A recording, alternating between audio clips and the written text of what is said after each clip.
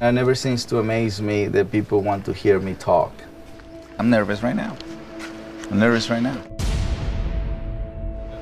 Cesar is the real deal. What you see is what you get. He's the pack leader of us all. Life on the road was hard before because I used to do it by myself. There was no family members. So right now, at least one of my kids is with me. I bring home with me. Grandma, can I have some food, please? My job as a pack leader is to give direction and protection. The way he communicates with dogs and fixes every problem that a dog has is amazing.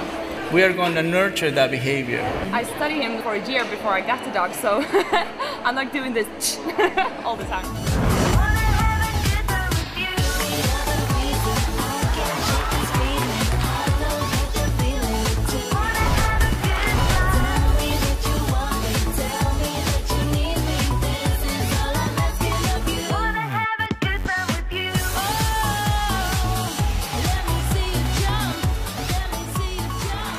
For those who don't know what breed am I, I'm Mexican.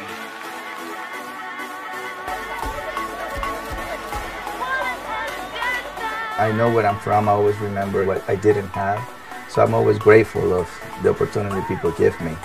They really genuinely love me. Amen. Showtime.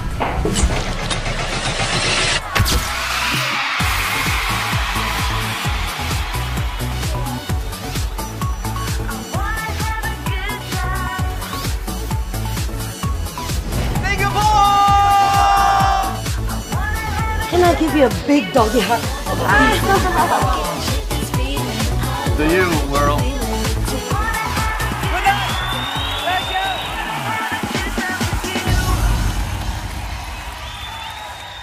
Not bad for a Mexican dog guy.